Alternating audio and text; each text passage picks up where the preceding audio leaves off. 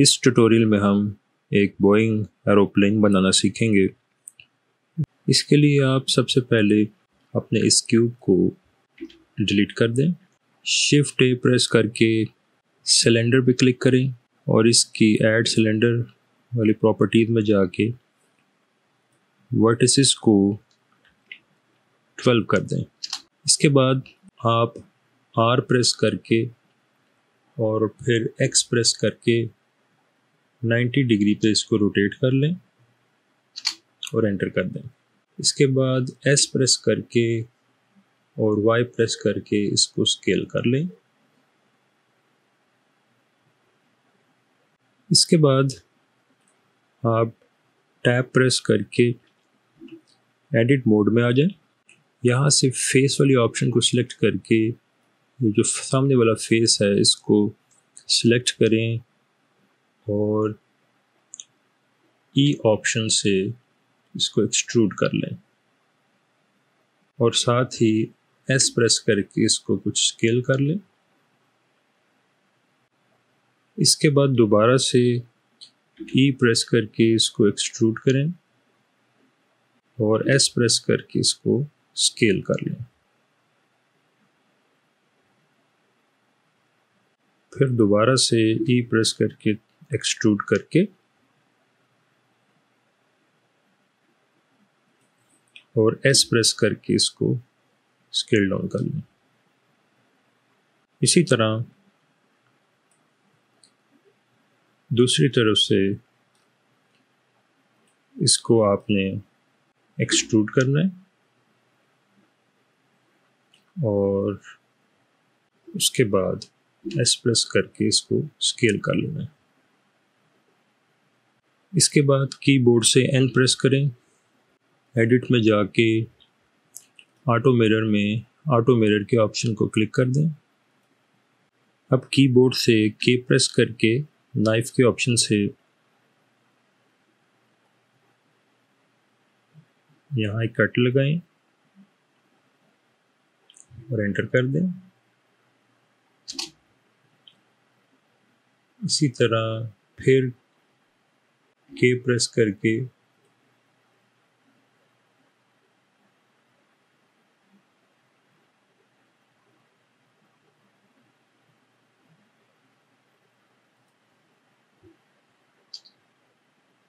Enter कर दें। फिर के प्रेस करें।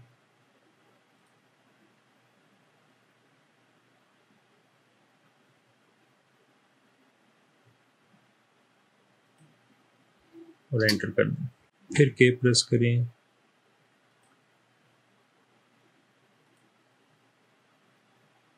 और एंटर कर दें। अब फेस मोड में आके इन तीनों साइड्स को सिलेक्ट करें।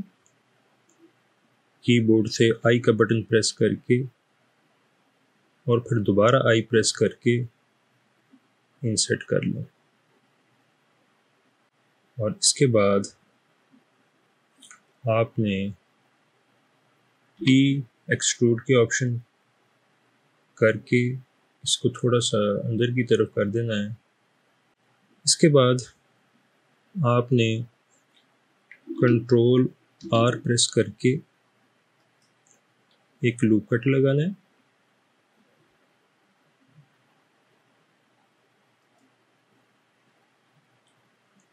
फिर दोबारा कंट्रोल आर करके एक और लूप कट लगा लें।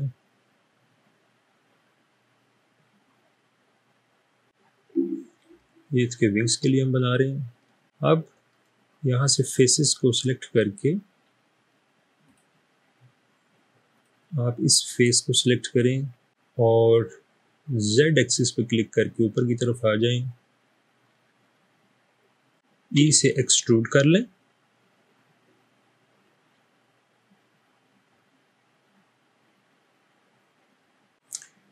क्लिक करने के बाद एस प्रेस करके स्केल कर लें।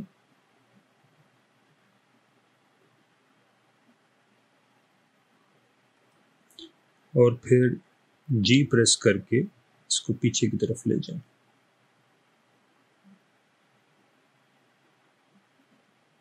इसके बाद आप साइड वाले एंगल से फ्रंट पे आके फिर जी प्रेस करें। और अब जेड प्रेस करके इसको ऊपर की तरफ़ थोड़ा एडजस्ट कर लें।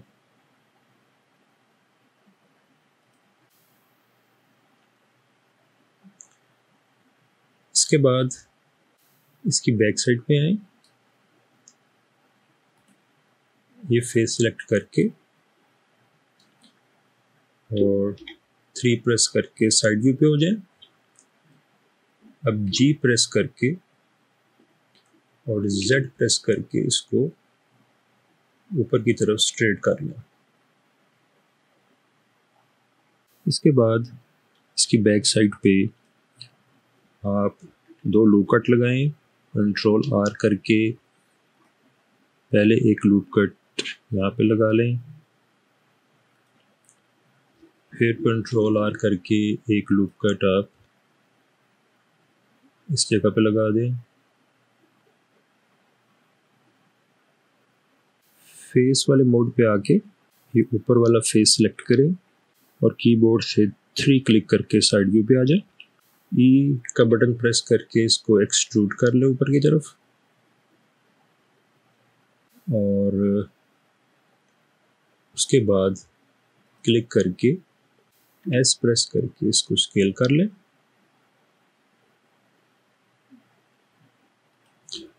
उसके बाद जी प्रेस करके इसको पीछे की तरफ़ ले जाएँ अब इसको साइड व्यू से देख लें। अब इसको आपने ऊपर से स्केल करना है। एस प्रेस करें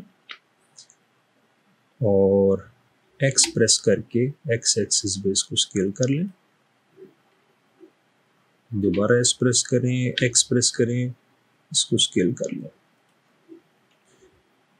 फिर एस प्रेस करें एक्स प्रेस करें, इसको मजीद स्केल कर लें। इसके बाद साइड वाले फेस को सिलेक्ट करें और जेड एक्सिस पे क्लिक करके ऊपर वाले व्यू में आ जाए। एक्सट्रूड इसको भी कर दें।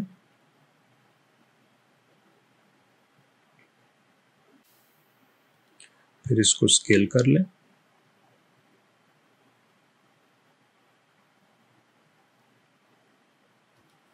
और फिर जी प्रेस करके इसको बैक साइड पर ले जाए। इसके बाद फिर जी और जेड प्रेस करके इसको थोड़ा सा ऊपर की तरफ़ ले जाए।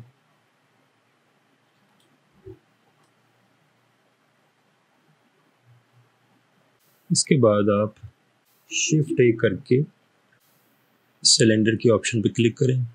उसके वर्टिसेस को आप 36 कर लें।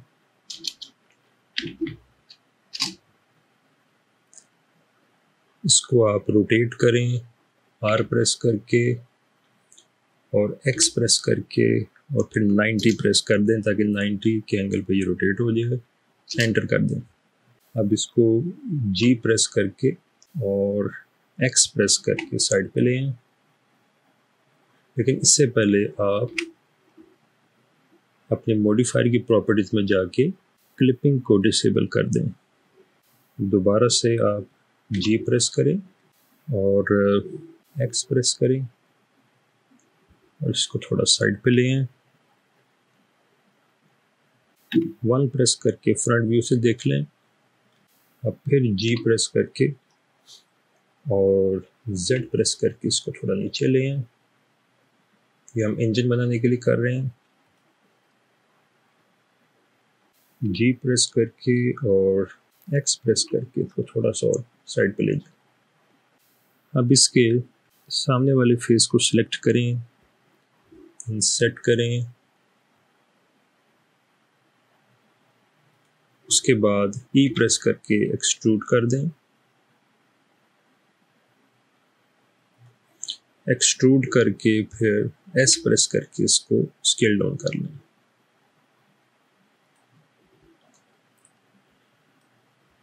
इसकी बैक साइड से फेस सेलेक्ट करें उसको एक्सट्रूड करें,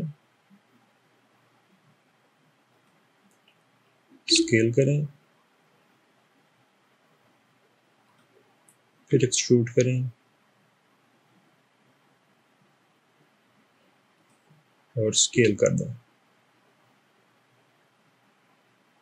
इसको क्लिक करने के बाद एल प्रेस करें। ये सारा सिलेक्ट हो जाएगा। और फिर दोबारा थ्री प्रेस करके साइड व्यू पे हो जाएँ। इसको जी प्रेस करके और वाई प्रेस करके थोड़ा पीछे कर लें। इसके बाद इसके ऊपर का एक फेस सेलेक्ट करें। साथ वाला भी सिलेक्ट कर लें। ई से एक्सट्रूड करें और ऊपर से मिला दें।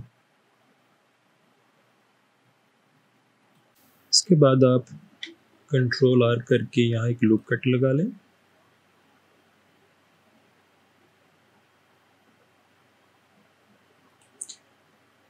और उसके बाद आप साइड वाले एक एज को सिलेक्ट करें। शिफ्ट दबा के दूसरे एज को सिलेक्ट करें। राइट क्लिक करें सब डिवाइड करें और यहाँ इसकी वैल्यू टू कर दें। इसके बाद आप ये ऊपर वाले एज को सिलेक्ट करें शिफ्ट दबा के नीचे वाले एज को सिलेक्ट करें राइट क्लिक करें सब डिवाइड के ऑप्शन को क्लिक करें और इसके नंबर ऑफ़ कार्ड्स आप 25 कर दें। उसके बाद आई के ऑप्शन को क्लिक करें इंसर्ट करें और क्लिक कर दें। इसके बाद टी एक्सट्रूड के लिए थोड़ा सा इसको एक्सट्रूड कर लें। उसके बाद आप ये मटेरियल पे आ जाएँ न्यू करें और यहाँ से प्लस करके एक और मटेरियल ऐड करके न्यू मटेरियल इसका बेस कलर आप डार्क कर लें। इसको साइन कर दें। ये मटेरियल व्यू में आपको नज़र आएगा। शिफ्ट डी करके और फिर वाई प्रेस करके इसको साइड पे ले जाएँ। जी करके और एक्स करके इसको थोड़ा बाहर की तरफ़ करें। इसके बाद इसके जो फ्रंट के ग्लासेस हैं, इसको भी हम ये कलर देना चाह रहे हैं तो इसके लिए इसके ऊपर क्लिक कर दें। फेस वाली ऑप्शन पे आ जाएँ यहाँ ऊपर से। इसको सिलेक्ट करें। शिफ्ट सिलेक्ट शिफ्ट सिलेक्ट तीनों को सिलेक्ट कर लें। उसके बाद आप यही मटेरियल ब्लैक जो लिया आपने इसको असाइन कर दें। असाइन का बटन प्रेस कर दें। इसके अलावा यहाँ इंजन के अंदर आप शिफ्ट ऑल्ट क्लिक करके ये सारे अंदर वाले हिस्से सेलेक्ट कर लें। और यही ब्लैक मटेरियल इसको असाइन कर दें।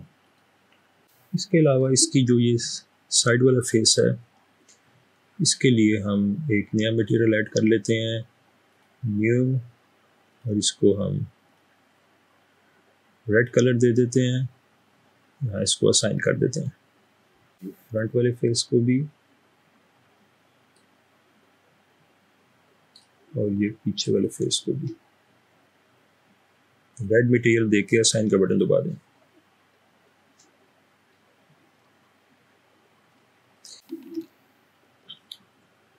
शिफ्ट ऑल्ट और ये विंडोज़ के ऊपर क्लिक करके शिफ्ट डी करें और फिर दोबारा से वाई एक्सिस पे ले जाएँ।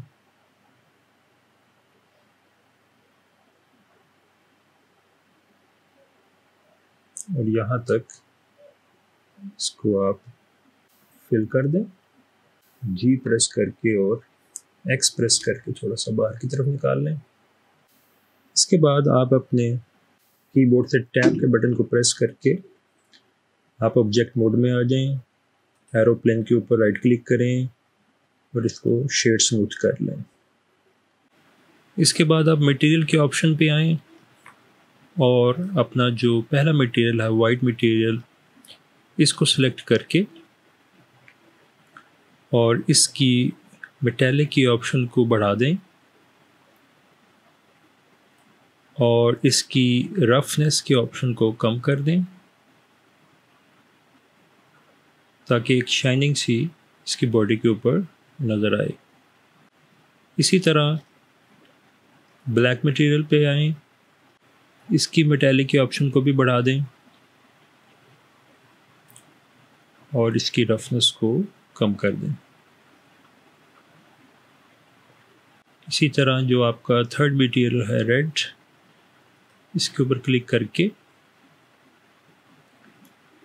आप इसकी मेटेलिक के ऑप्शन को इंक्रीज़ कर लें और रफनेस को कम कर लें। तो इस तरह आपका ये एरोप्लेन अब तैयार हो चुका है। इसको आप देख सकते हैं।